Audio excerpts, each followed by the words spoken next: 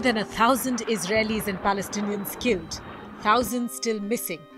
Buildings in the Gaza Strip reduced to rubble. It's the deadliest escalation of the Israeli Palestinian conflict in decades.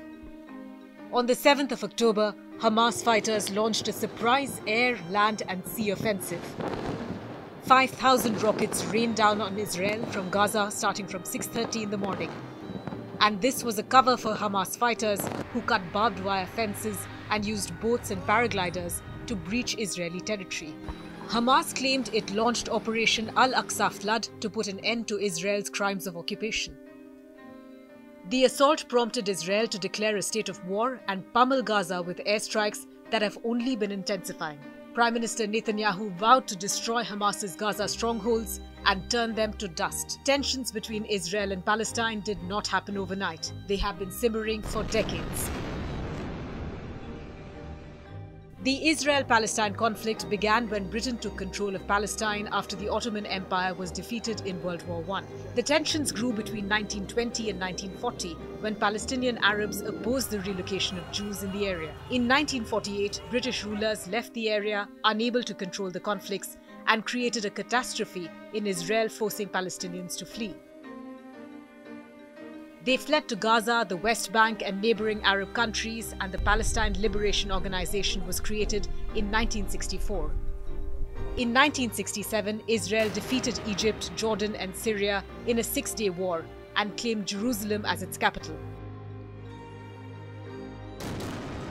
The late 20th century witnessed the emergence of two intifadas, or uprisings as responses to Israeli occupation. The first intifada was in 1987 and the second intifada raged between 2000 and 2005 after Ariel Sharon's visit to the Al-Aqsa Mosque compound. The Al-Aqsa Mosque is revered by both Muslims and Jews.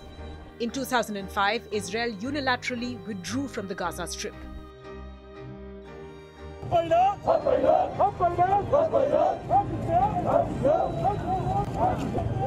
Hamas stands for the Islamic Resistance Movement and is a Palestinian political and military organization established in 1987 during the First Intifada. It originated as an offshoot of the Muslim Brotherhood and has a dual agenda to govern the Gaza Strip and to pursue the liberation of Palestine through armed resistance. Hamas does not recognize Israel's statehood and remains firmly opposed to the Oslo peace accords. Instead, it envisions a Palestinian state within the 1967 borders and it employs violent means, such as attacks on Israeli soldiers, settlers, and civilians, to achieve this goal. The United States, the European Union, Canada, Egypt, and Japan designate Hamas as a terrorist organization due to its use of violence, including suicide bombings.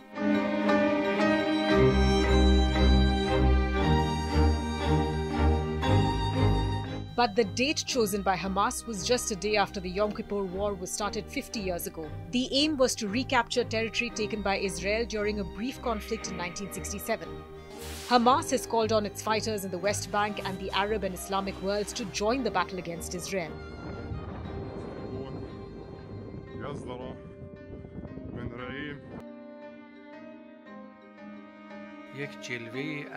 Hamas appears to have close ties with Iran. It is often described as an extension of Iranian influence in the region. Iran has been a major supporter of Hamas, providing financial assistance and military hardware, especially missiles and drones. Iranian leaders, including Ayatollah Khamenei, have publicly expressed support for Hamas and its attacks against Israel. Hezbollah, another militant group linked to Iran, has been involved in the conflict. The group launched attacks in support of Hamas and opposed any normalization of relations between Israel and Arab states, particularly Saudi Arabia. What's clear is that war has returned to the Middle East. Israel's heightened airstrikes have triggered a humanitarian crisis in Gaza, with many people struggling to access basic necessities such as food and water. Palestinians in Gaza and the West Bank claim they are suffering due to Israeli actions such as blockade of Gaza, the construction of the West Bank barrier, and the destruction of Palestinian homes. Israel has cited the right to defend itself as Palestinian militants carry out attacks on Israeli civilians.